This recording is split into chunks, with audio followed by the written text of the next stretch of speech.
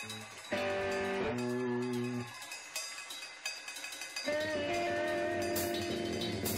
right. Toy group.